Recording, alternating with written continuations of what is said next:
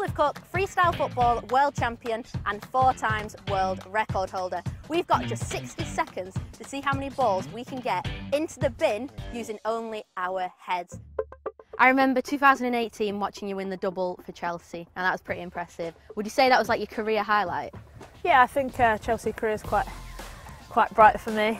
Are you any good at headers? I know you've got the skills. I've seen the videos. You're one of the early ones, so we've got to, you know, set the standard. No one's going to beat us. We have got three to beat. The record set by Fara Williams last week. Do you reckon we've got it? Give it a go.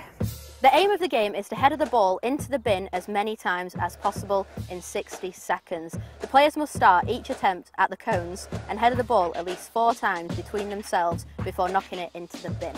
If the ball hits the ground at any time, the players must restart from the cones.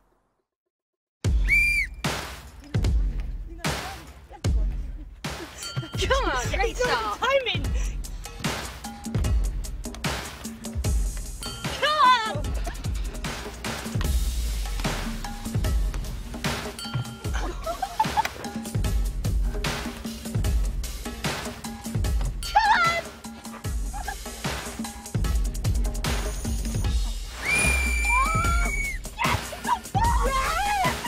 Well, we got four. We set the new record. We beat Fara Williams' three.